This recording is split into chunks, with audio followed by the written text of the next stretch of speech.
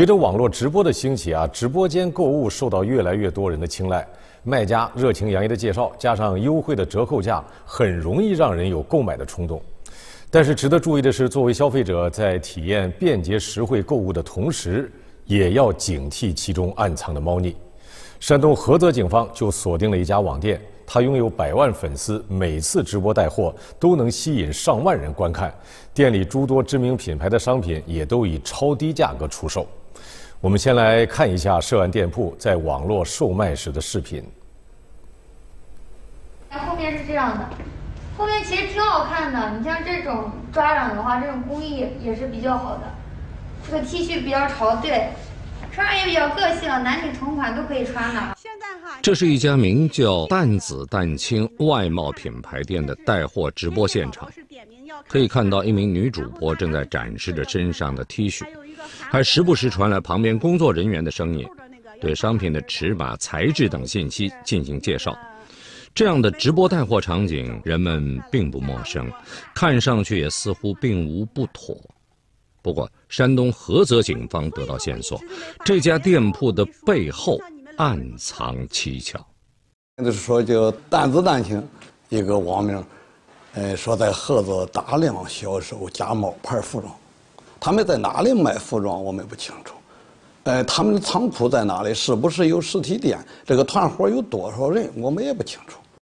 涉案店铺的介绍页面中写着：“专业、专注品质、坚持性价比。”然而，讽刺的是，警方了解到，其店内销售的商品都是披着正品外衣的假冒商品。店铺不会直接注明商品的品牌名称，而是用一些隐晦的代号来进行展示。就是，这个款就是女款的，纯女款，男款没法穿。咱这种跟着这个品牌，它跟着他们专柜走的价格啊，相对要比就我们自己下单做或者比尾货价格其实要贵的，大家也能看出来。但是贵也有贵的道理，出货都是全品效，就专柜什么样咱就什么样，价格非常低，可以说是有些服装就是正规服装的两折三折，呃，或者说他做的以假乱真的稍微那个贵一点，但是全部都要比实体店要便宜，吸引人的眼球。带货团队声称，他们销售的商品都是大牌的尾货尾单。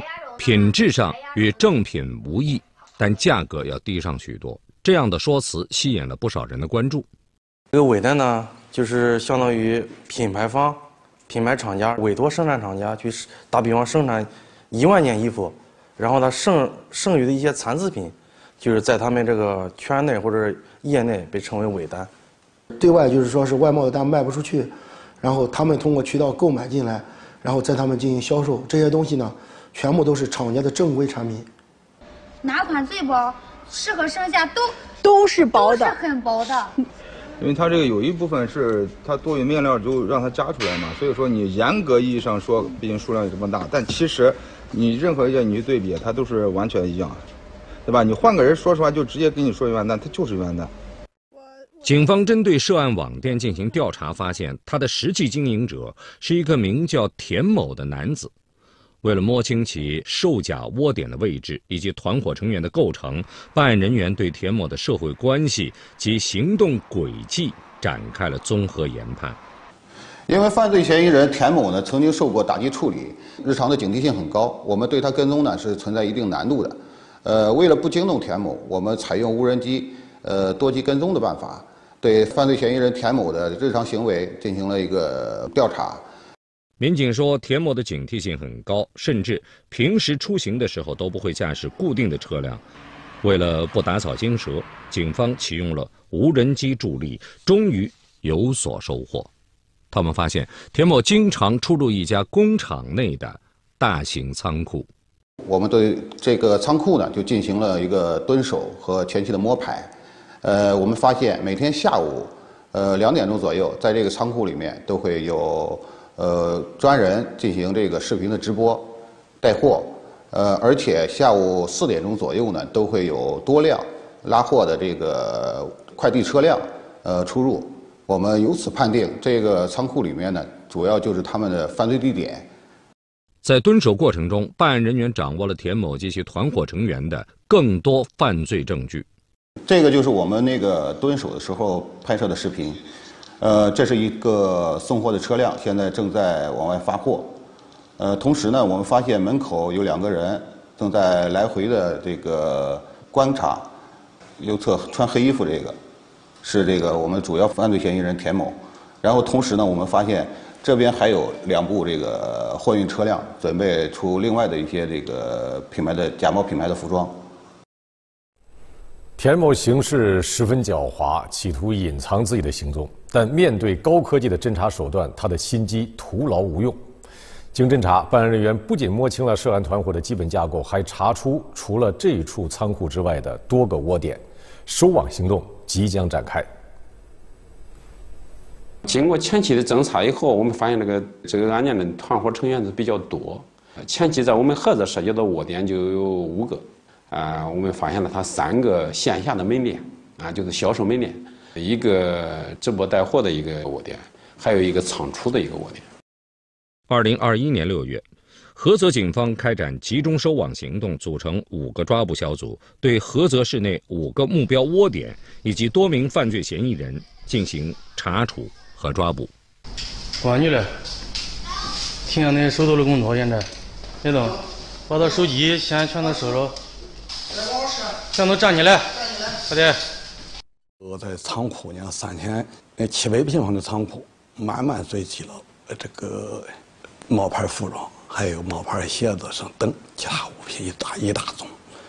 呃，在这个仓库，我们就扣了几十万件服装。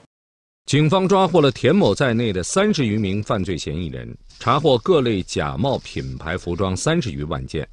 根据犯罪嫌疑人的交代，办案人员顺线侦查，锁定了其上游犯罪团伙。专案组就顺藤摸瓜，摸到就是他的上游，就生产这个假冒注册商标的，呃，那一伙人，他那个地方在威海，在威海打掉的，嗯，生产假冒服装厂家，我们就扣了二十多万件服装。我们认为呢，这里有把他这些进货的厂家。哎，把它给生产标识厂家给它全部打掉，才能彻底掐断这个生产假冒销售服装的链条，起到了这个遏制这类犯罪的作用。画面中的仓库就是田某等人位于山东菏泽的窝点之一。民警介绍，这里曾经每天都是非常忙碌的景象，田某雇佣了几十人在这里打理生意。这里就是他整个仓库的整体，这边全是一些我们查获的假冒的品牌的服装，我们全都通过清点，然后归类放在这里。这整个有多大？这整个整个仓库有三千七百多个平方。可以看出，仓库面积很大，里面堆放着查获的假冒品牌服饰等货物。民警说。此前数百万件的假冒商品就是从这个仓库打包发出的。发完了吗？没有发完，多着呢。昨天发了有两千多单吧。所有的人就是这些配货的，从早上八点，中午吃个饭就去干，一直到下午六点。民警介绍，这处窝点不只是犯罪团伙储存货物和发货的地点，这里还有好几个隔间。里面配置了各种直播设备，用来开设直播带货。当时这里就是他的主播带货直播的一个地方，每天他们在这里进行，这边全是他存放的一些试穿、试穿的衣服。这里也是各种材质的衣服、各种季节的衣服、各种品牌全都在这儿。他们通过这里直播带货，每次直播在线观看。人数达到一万多人。极富诱惑力的宣传话术，不断刺激了消费者的购物欲望。大量假冒品牌服装以明显低于市场价的价格销售到全国各地。田某等人售假窝点的规模让办案人员感到震惊。仓库中查获的假冒商品甚至涉及几十种国内外知名品牌。那么，这个田某是什么来头？他是如何将正品服饰仿制出来的呢？这咱这个 T 恤啊，这个真伪这块儿其实有肯定有那个质疑。你看，这是去年过了正月十五，我全部是飞艇过来的。真的不是国内我随便做的，我我弄点假货，我用那么麻烦？不是，你知道你知道是什么样吗？本来是老田费了很大很大力气把这批货搞到，但是别人却不领情，然后他的心情你懂吗？他是这种心情。而且我卖的还没有人家假货这个价格高，真的费了很大劲。直播画面中能听到一名男子的声音，工作人员称其为老田，也就是犯罪嫌疑人田某。民警了解到。田某最初经营的网店并没有售卖仿冒商品，但是对利益的贪婪让他最终选择了制假售假的歧途。这种行业里面呢，呃，每一个环节的这种操作和管理啊，甚至说所得到的利润点，他都非常了解。这个他注册了一些品牌，但是呃，经营管理下来以后啊，呃，发现和侵犯别人的这种知识产权啊，这个冒牌。啊，销售所得到的利益是不一样的，铤而走险的，呃，去继续经营这个，呃，假冒注册商标的这个衣服，因为它这个利润啊，确实，呃，是比较大，呃，这个田某啊，经营的数量、经营的这个范围也比较广，呃，都是一些呃比较知名的一些品牌吧。田某交代，他平时会关注一些品牌服装的旗舰店，每当有热门新品发布的时候，他们就会第一时间购买这些产品。正品的服装买回来以后呢，他当天上午就开始进行测量，测量录入他们的制版机器内，测算好之后，当天上午就可以把这个样衣做出来。然后下午呢，如果说这个样衣比较大一点或者小一点，他们进行一一部分调整之后，然后做成一个成品的衣服。通过对正品服装的测量和调整，田某等人在一天之内就能做出仿制品的定版，速度如此之快。着实令人吃惊，而他们接下来的任务就是采购足以以假乱真的布料、贴标及辅料等，尽快大量生产这批假冒商品。呃，做好样衣定型定版之后呢，他们就直接把这个样衣的这些参数数据直接发到工厂，直接进行生产了。呃，通常在一周之内，这些这个服装样衣呢，成品成品的批量的，呃，假冒品牌服装就可以投入到市场上面。办案人员了解到，田某等人会对正品商品的材质、款式、颜色等多方面进行考量，好让他们生产的冒牌货具备较高的相似度。然后他们把样衣生产完成之后，他们还会把呃正品的服装通过这个无理由退款的方式再退回去。呃，实际上他们一分钱都没花，然后就把正品的这个衣服仿制出来了。这个销量比较高的，大家大众认可度比较高的这种服装，它都会进行仿制。他那个羽绒服长款的，嗯，我再给你们看一下哈，好多人问要不要剪标，要不要剪标，我都跟你们说了，我我肯定要对外是剪标的。实际上你们看，这些都有都有，看到了吗？购买完正品，然后再退款退货，就这样，田某等人一分钱不花，却将品牌服饰的款式偷到了手。不仅如此，他们还采取多种手段吸引更多人购买商品，从发布预告预热到直播带货，每个环节都暗藏不少心机。售假手段一：通过网络发布假冒商品的预热广告。像这个裙子的面料的话。你穿上是特别的凉快的那种冰丝的那种凉凉的，你们能感觉到吗？民警注意到，涉案店铺在其社交网站上的账号拥有百万粉丝。可以看到，该账号不仅时常展示一些服饰的广告图，还会发布直播时间和内容，吸引粉丝关注。他们在直播中或者直播前，会在一些公众号上或者微博上。提前进行一些新款产品的预热，就是我们下一期要上哪些产品，哪一天要直播。利用公众号、社交平台进行引流，慢慢培养更多粉丝的关注度。田某等人开设的直播间几乎每次都能吸引上万人围观。接下来，他们就会利用话术诱惑人们购买这些假冒商品。售假手段二：以伪单的名义以假乱真。吸引顾客下单。针织外套。刚刚在那个。对，现在我们工艺单什么资料都有，然后他们上的新款。他们不知道上衣是啥，我也不知道做什么呀。卡衫他说不要看了，嗯，因为卡衫他还没上市，对，还没走货，专柜还没上呢，还是有点危险的，算了吧。然后其他两款走货的你们可以看一下。原始资料。这些不能发哈，绝对不能发的。肯定不发，我我叫人们看看。啊，你们就看一眼就行了。保真的，这这些都是保真的东西。呃，犯罪嫌疑人田某啊，还还有他的几个员工呢，呃，在我们刚到案的时候都是说，啊，我们我们进我们销售的这部分商品呢，就是通过外贸啊，通过这个一些工厂的正品的底货，拿的价格比较低，所以我们在网上销售的价格也比较低。涉案直播间内的服饰价格低廉，按常理来说是会引起人们怀疑的，但田某等人却用商品是正品厂家的原单、尾单等理由打消大家疑虑。如果跟正品价格一样，广大群众肯定不是在在网上热热购他这个东西。二，他说是清仓处理，或者是尾货，说是绝对是正品货，从哪里进口的，并且他们又有实体店。并且又不是一个实体店，所以说极易欺骗广大群众。就是按正常来说，他们这些代工厂是不可能是给他们去进行这种嗯跟单或者追单，或者是淘汰这残次品给他们。打比方说，如果他们真去和他们去合作做这些违法的事情，然后品牌方一定会取消与他们合作权，或者是取消他们这个代加工权，这样反而他们会得不偿失。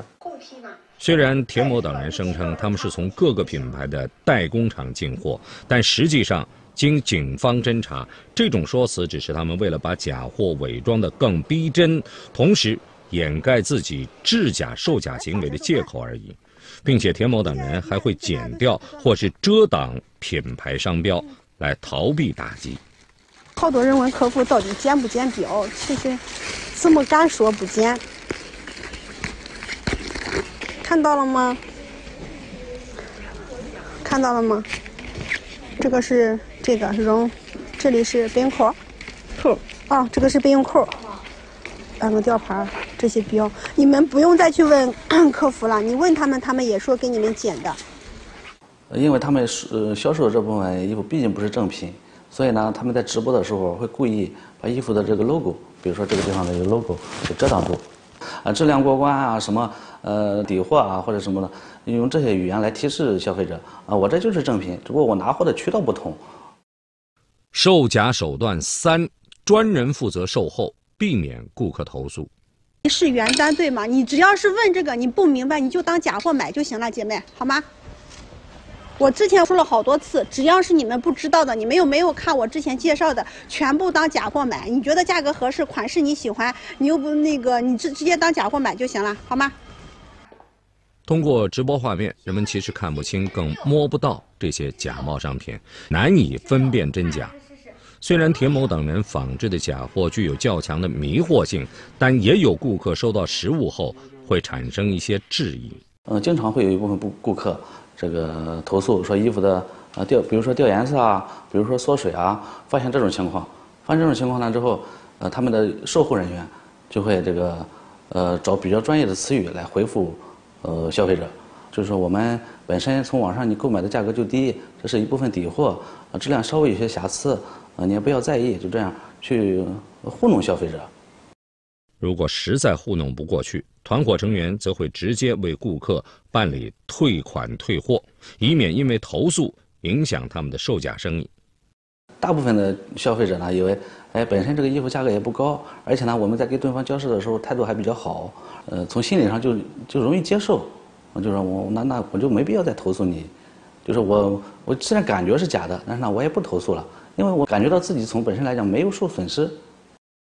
田某等人被利益冲昏了头脑，选择了制假售假的歧途，还采取了不少非常手段来遮掩自己的犯罪行为。不过，他们最终都要为此承担法律责任。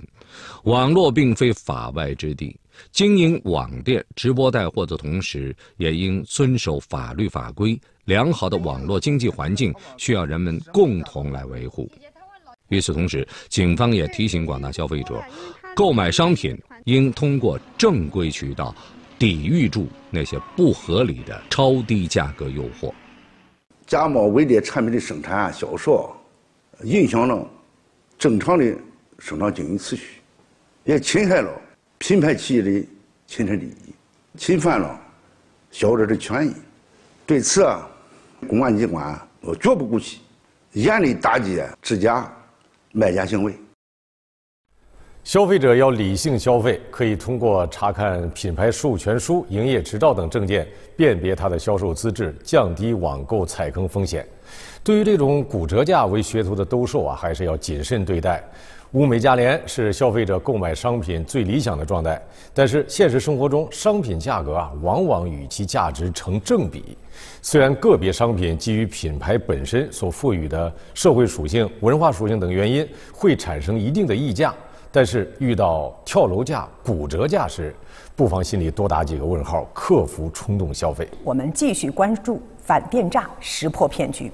前不久，北京市西城警方接到了一家公司几名员工的共同报警求助，说他们的同事一个刚入职几天的年轻女孩，在接到了一个电话之后，匆匆离开了单位，不知道去了哪里。奇怪的是，她的电话一直占线，一直联系不上。她的同事们去到了她的宿舍，也不见人影，十分的担心。那么她去了哪里？究竟发生了些什么呢？人不在家里边，我们刚才在哪儿呢？人不知道啊，找不着他人，现在啊。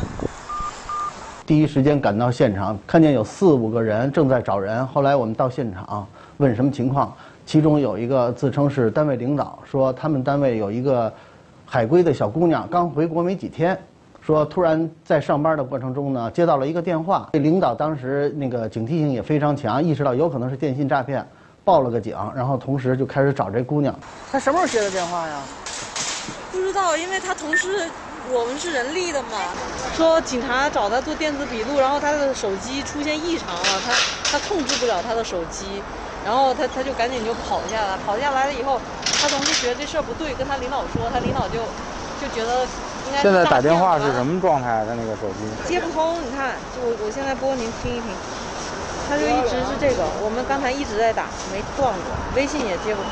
他是一直在打电话是吧？在对，他就占线。没人知道女孩去了哪里，手机也拨不通。于是民警立刻发动在场的几名同事，兵分多路进行寻找。因为他们单位人比较多，一部一部分呢让他们单位人去他们单位附近去找，第二第二部分人由我带和另外一名警带着到他那个宿宿舍去找。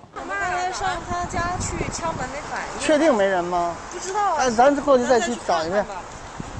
门口有个快递箱，我觉得他要开门的话，有可能东西就跑不走了。但是确实敲门里边一点动静都没有。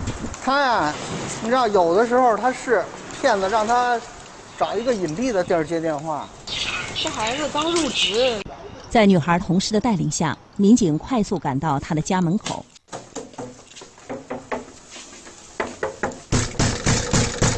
敲了半天门没有回音，后来我想是不是可能在打电话不方便听啊，我就使劲敲了敲，还是没有回音。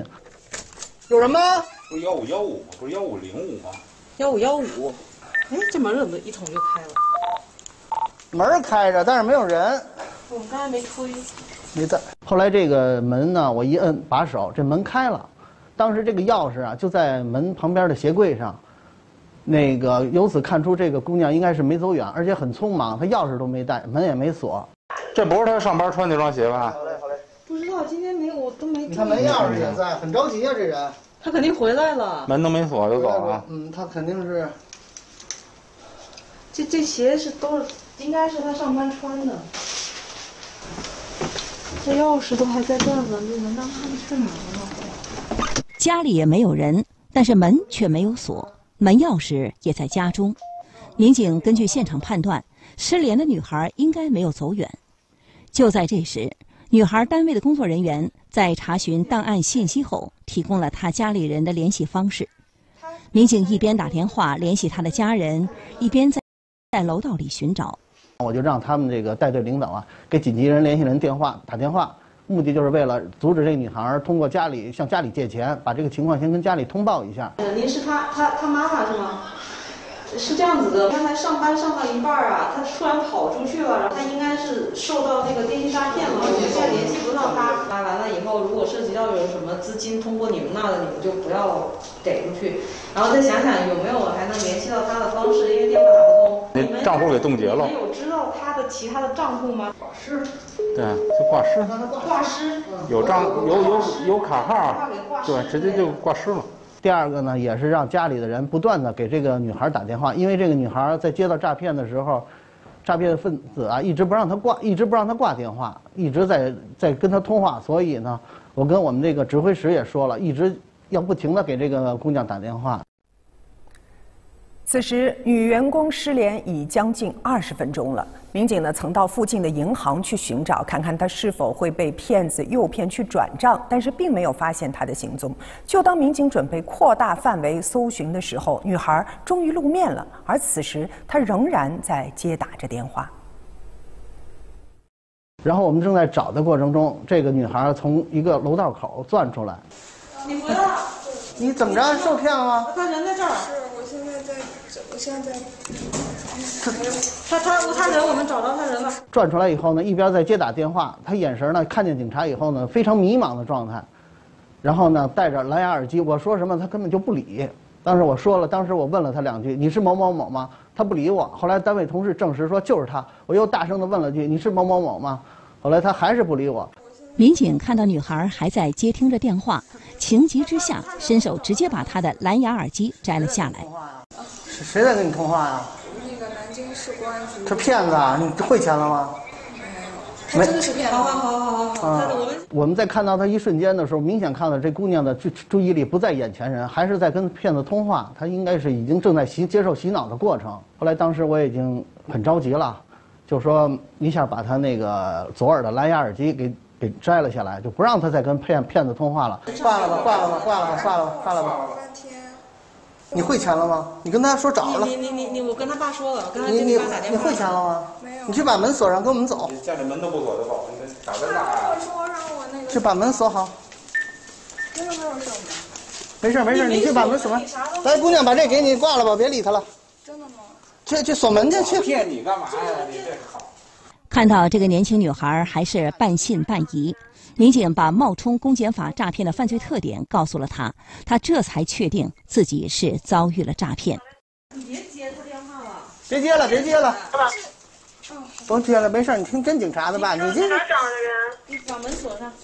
他自己回家了。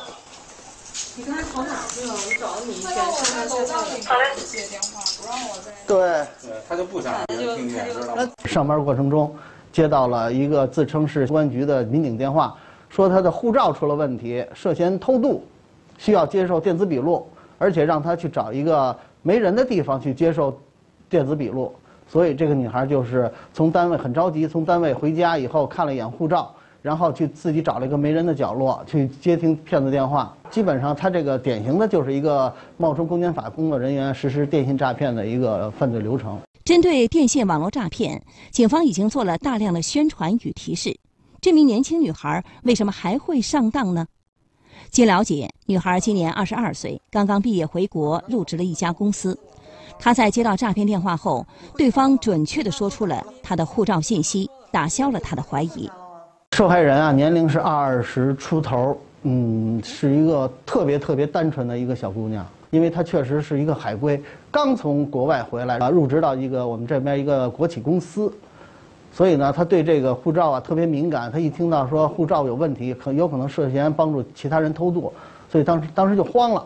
用他的话说，就是已经就大脑一片空白了，就完全没有往骗子上去想，就是认为这个事儿是真的。警方提示，电信网络诈骗的犯罪特点比较明显，只要仔细甄别，是可以避免财产损失的。归根结底吧，就是还是不要轻信，特别是提到钱，因为公安局如果是要动你的钱的话，都是要有法定手续的，不是平白无故打个电话就就让你把账钱转到哪个账户里边，这是不合法律规定的。电诈套路五花八门，但是内核都是相似的。不久前，北京的一位老人也接到了一个陌生来电，之后他匆匆忙忙跑到银行，执意要向陌生账号汇款，说外孙子急需用钱。银行工作人员通过与老人的简短交流，发现了异常。银行工作人员说，当天前来办理汇款的老人从包中掏出用塑料袋包裹的现金，说要汇给外孙。然而，在交流的过程中，他们却发现老人有些不对劲儿。然后我们就询问了一下老人，这个收款人是不是您的外孙子？然后当时老人呢，就是呃前后说的不一致，一开始说是，然后一会儿又说有点犹豫，但是呢，好像又不太愿意跟我们说实实际情况，就说应该是什么的。呃，这点也是让我们产生了很大的怀疑。看到这种情况，银行工作人员怀疑老人有可能是遭遇了电信网络诈骗。我们临时组织了一个应急的一个小组，一方面有老人的客户经理，还有厅堂的人员安抚老人的情绪。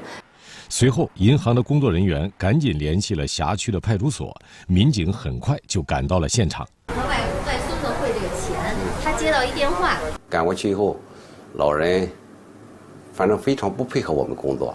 情绪比较这个激动，呃，非常害怕，就要求把这钱汇走。民警了解到，老人今年七十七岁。当天上午，他接到了外地一个自称是他外孙的电话，说自己急需用钱，还不让老人告诉任何人。我我跟你说实话，你别着急，你你谁？呃，这个是你什么人？外孙子，他说不让我跟他爸妈说，千万别说。就是假的，骗子这是。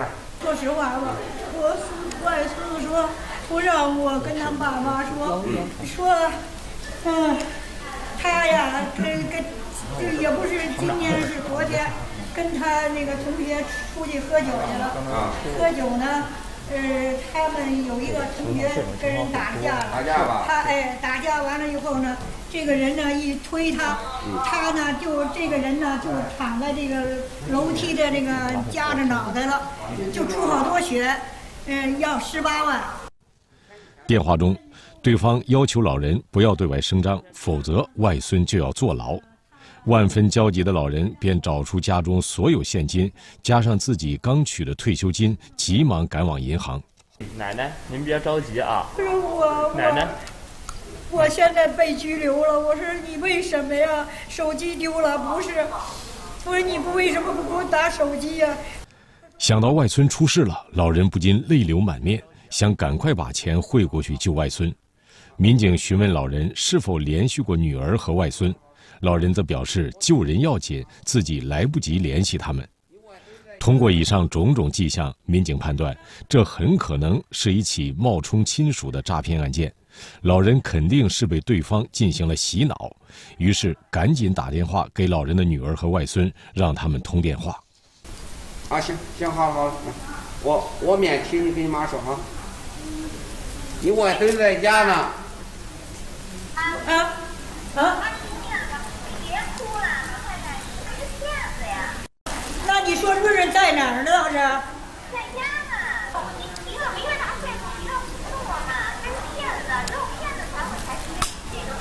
我正好刚刚钻到床底下，钻到床底下趴着，拿出一一一万块钱来。